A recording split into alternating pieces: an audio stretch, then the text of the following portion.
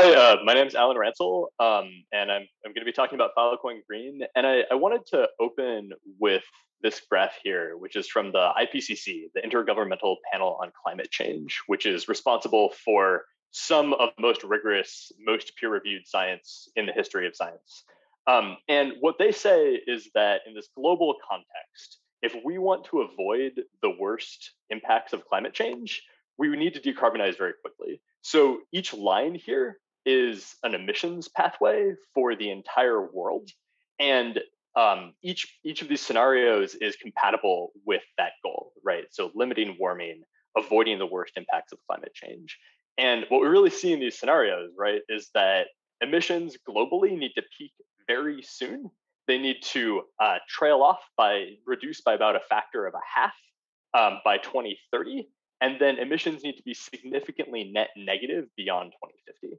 And so uh, Megan Klimen of the Filecoin Foundation was recently talking and said that one of the things she loves about our community is that we take this very long view, and that given that view, we should care a lot about these things. And so we're going to talk today about some of the, the tools that we're building in order to help make the environmental impacts of Filecoin transparent and also to then give people tools to reduce and mitigate them with the ultimate goal of making Filecoin environmentally beneficial. So Filecoin Green really lies at the intersection of these two questions, right? So how can we make Filecoin in verifiably environmentally beneficial? And then how can Filecoin help to catalyze the transition to renewable energy across the rest of the economy? So here's a, a, simplified view of the Filecoin value chain, right? Sort of in general, you have these inputs. One of the major inputs is electricity, other inputs are hardware. They go into the world's largest distributed file storage network. That file storage network provides this, this useful resource to the Web3 community, being storage. And then clients are able to use that storage, right? And so our thought in Filecoin Green is how can we nucleate technologies within the Filecoin network that allow this sort of behavior of the network to emerge? So firstly, we're going to talk about tools to measure the environmental impacts of Filecoin. So what in the, the electricity is what we've been focusing on, but in the longer term hardware also, what are what are the environmental impacts of those inputs? How do they get used in the Filecoin network?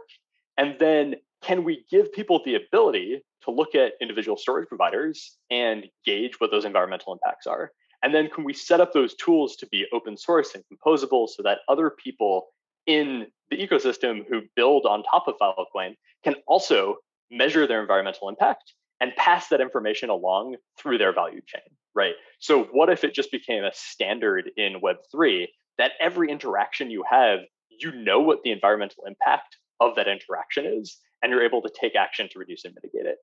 Then the second part of the tools that we're building are, are that other piece, right? Reducing and mitigating that. So if you know what the environmental impact is, what actions can you take in order to reduce that impact? And in doing this, how can we transform Filecoin itself into a network that does verifiable environmental good? So we use energy, maybe we buy more renewable energy than we're actually using. And we're going to talk about that.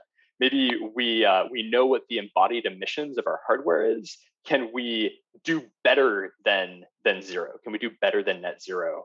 And make all of that impact truly verifiable, right? Because that's how we work with data, right? We want data to be verifiable. We want data to be interoperable. So we want to be able to trace these environmental impacts and things that we're doing to reduce and mitigate them uh, many levels throughout the value chain. And so, why should Filecoin be the world's greenest blockchain? So one one answer is that Filecoin's design itself is conducive to carbon accounting, right? So this is a really important point. When storage providers are contributing capacity to the network, their uh, their their impact on the network, right? They're contributing that capacity contributes to the emergent behavior of this network, which is to produce this this massive amount of file storage, right? But the services provided by individual storage providers are non-fungible, right? So you can you can look at all the different storage providers that are offering to store your data, and you can decide who you want to start with in your in your deal. And so that provides this really transparent point in which to uh, connect environmental impacts from individual storage provider operations to individual miner IDs and deals on that miner ID, right? Which is not a design feature that a lot of other blockchains have. Then, secondly, the world needs a Merkle forest of forests. So the Merkle forest refers to this idea that, that Juan coined in 2017, talking about how once you build everything based on hash links, your data is verifiable not just within the, the narrow data structure that you're building, but within the, the whole sort of universe of data structures built on hash links, which is extremely powerful and gives you that interoperability and verifiability that are really going to be key to tracking environmental impacts many stages throughout a value chain. And so, if any community is going to build those tools, it should be this community. Then, third, we use a lot of energy and we use it on purpose. Right. So largely, blockchains that have made strong environmental claims fall into two sort of categories. One category is blockchains that don't use a lot of energy because of their consensus mechanism, right? And they they can buy renewable energy. That's great. They're not buying a ton of renewable energy within the context of renewable energy markets, but that's great. We're really glad that they're they're being verifiably renewable. The other category of blockchains that have made strong renewable claims so far they tend to use a lot of energy, but those claims don't seem don't tend to be verifiable, right? So maybe they're based on surveys that are, are anonymous. There's no consequences for uh, giving an incorrect answer on that survey. We really want these environmental impacts to be traceable and unambiguously verifiable, right? And Filecoin is going to use a lot of energy and also makes a commitment to verifiability, right? We're building the storage layer for the decentralized web, right? So that's just going to take a lot of energy. It just is. And so we can combine the fact that we're going to use a lot of energy with the fact that we can demand that that energy be renewable and use that as a leverage point within that value chain in order to catalyze the decarbonization of the rest of the economy. So, you know, here are these three sort of steps. First, we have to measure our environmental impact. Secondly, we have to reduce and mitigate that impact. And third, we have to connect with uh, communities outside of our own community um, and also make more connections within this community to, to really build a green Filecoin movement. So this dashboard is, is relevant to that first section, which is measuring. So this is data that is going to be released um, in the next couple weeks. Um, we've been working really hard to use on-chain proofs in order to estimate what the electricity use of the Filecoin network is. We've put all that information into this dashboard, and there's there's a bunch of, of important features here. I'm going to run through a few of them. Firstly, uh, you can see that the energy used to seal sectors and then the energy used to store data over time are the main components of Filecoin energy use. So, so that makes a certain amount of sense. For each of these bounds here, um, or for each of these variables, we've calculated an upper bound, a lower bound, and an estimate. And so that is based on data from a bunch of different sources. So it's based on benchmarks, it's based on surveys, it's based on interviews with individual storage providers where we've really understood their operations and their energy use. And it's it's also built on direct measurements of energy use from storage provider operations, right? So we've combined that information into a model and we're going to be working hard to improve that model over time, make that model really transparent, make the data available. We're funding academic research in order to study how to measure the energy use of Filecoin and distributed systems generally, because it's a really hard problem and we need better tools to do that. And we're we're uh, we're really excited about what we've done so far and about uh, releasing this data going forward. Um, currently, we think that Filecoin uses about 130 megawatts of power, which is a significant amount of power. It's about 1% of what Bitcoin uses. And you can compare that to global data centers and say, okay, Filecoin uses about uh, half a percent of the electricity that data centers across the world use. It also stores about half a percent of the data that data centers across the, the world store. And so that's that's roughly in line, right? So so Filecoin, uh, we shouldn't think of Filecoin as being a dramatically, uh, you know, we shouldn't think of Filecoin as being a wasteful blockchain, right? Filecoin is using energy to do things that are useful for people, and it is roughly in line with data centers across the world. Another really great feature of this dashboard is that um, as we refine these models, this dashboard is meant to be inherently upgradable. So we're just able to add new models to the dashboard and we can version our different um, our different models of Filecoin energy use. Now, the really powerful thing about this dashboard is that you can look up individual storage providers and see in a granular way, based on that storage provider's activity on the network, what their energy use is, right? So you type in the storage provider, you can see how much energy they took to seal sectors over time, to store sectors over time, their total energy use, which includes things like estimates for cooling and, and power conversion losses, and then you can also export all of this data for all of these graphs at the epoch timescale. So at the block timescale, which gives us this really granular information that we can use to explore how Filecoin interacts with electricity markets. So the second part here is to reduce and mitigate these impacts. So this is how renewable energy markets work. Um, I didn't design them. This is just how they work right now. When a a, a, renewable energy producer, so for example, a solar farm or a wind farm, produces renewable energy. The electrons go into the power grid. The renewable energy attributes are collected, and packaged into something called a renewable energy certificate. You, as a, a Filecoin storage provider or another actor, can use electricity and buy a renewable energy certificate from a solar farm or wind farm, say, or a hydro hydro plant that is in your area and that's how you prove that you're using renewable energy. That's just the, the industry standard definition there. And so what we did is we worked with amazing partners at the Energy Web Foundation who are building this platform called Energy Web Zero that we're helping to support. And we got together a group of storage providers who were interested in proving that they used renewable energy. And what we did is we got them, we, we used some of these estimates, right?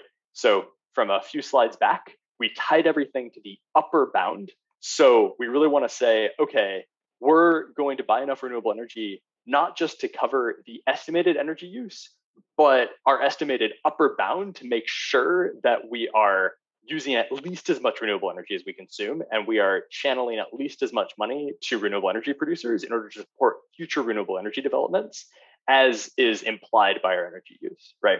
So we took that upper bound for each of these storage providers, we had them buy renewable energy credits on the Energy Web Zero platform. And we added this column to the reputation system, FilRep, which, as you can see here, shows the amount of renewable energy purchased that's tied to an individual miner ID, right? You can click that link and go to the Energy Web Zero verification page where you can see information about that REC transaction. So you can see when the RECs were produced, you can see which miner ID purchased them, and then if you click that link in the bottom right hand corner of the Energy Web Zero page, you can see the actual certificate issued by the local REC registry, the local renewable energy credit registry that's tracking renewable energy production. And you can see that that REC was redeemed to that Filecoin storage provider. You can also see exactly where that renewable energy was produced. In many cases, you can get GPS coordinates the information that you have depends on just what the local rec registry records. But this is the level of granularity and verifiability we're talking about, right? So you can trace individual deals, individual storage providers to renewable energy credits that are produced by a specific solar or wind or hydro producer and know if you take some action within the Filecoin ecosystem, this is where the renewable energy is coming from to support that. So we're really excited and think that this level of verifiability is what we need as a standard going forward. You can read about this on, on a Medium article that we published with Energy Web. There's been really great reception for this, this first sort of foray into doing this, um, including Jesse um, tweeted out that uh, crypto companies are moving orders of magnitude faster in their journey to decarbonize versus most Fortune 500 companies. And Filecoin is at the head of the pack. So we're really excited about this and we're pushing really hard um, in this direction to make uh, Filecoin environmentally, um, environmentally positive and verifiable. So our phase two demo, we're scaling this up by more than a factor of 100. We're going to buy renewable energy at a gigawatt hour scale, which is a huge amount of renewable energy. It's also better. So, what I mean by that is that the industry standard is that you purchase renewable energy that corresponds to the year when you consumed it, or six months before that year, or three months after that year, right? So that's just the industry standard. As going back to that picture, right, where um, where energy and its renewable attributes are sort of separated from each other and then come back together, this is not a very strong tie, right, between renewable energy production and consumption, which is highly necessary if we're going to decarbonize the grid. So what we're showing here in this new demo is that we can do a better job and try to push toward shorter accounting periods where you have this closer match between renewable energy production and consumption. And that's something we can do because we have this really granular, really good data on how much energy we're using and when. So, thirdly, we need to, to connect with others in this space. So, a really great way to do that is through the Crypto Climate Accord. The Crypto Climate Accord, which Protocol Labs and the Filecoin Foundation are both part of, uh, aims to achieve net zero, so net zero carbon emissions for signatories of the Climate Accord by 2030, and to build tools to make all of crypto industry wide verifiably green by 2040 right and we, we really think this is a this is a great place to help contribute to standards in this industry as they're being developed and to push to make these tools really accessible and easy to use so a ton of people have been involved in this work uh, people in the pl ecosystem angie has really catalyzed a lot of this and and connected research that we've been doing to what the ecosystem needs right now PL research. I worked with Michael Hammersley for a long time on these questions. Evan Miyazono catalyzed a bunch of the, the research that formed the basis of what we're doing now. The Sentinel team has given us a ton of data. We, we're working with the reputation system team to tie in renewable energy attributes into the reputation system. A ton of storage providers are super supportive and, and participating in all of this. The Filecoin Foundation has been, has been helping us with a lot of this and helping us develop tools. Other organizations, the Energy Web Foundation is the farthest along in building Web3 native tools for working with renewable energy credits and other environmental attributes in a really granular way. The Crypto Climate Accord, Three Degrees, um, were, as I said, funding academic research to measure the energy impact of distributed systems and build new tools for that with, with Harald Vranken, who's a professor in the, the Open University in the Netherlands.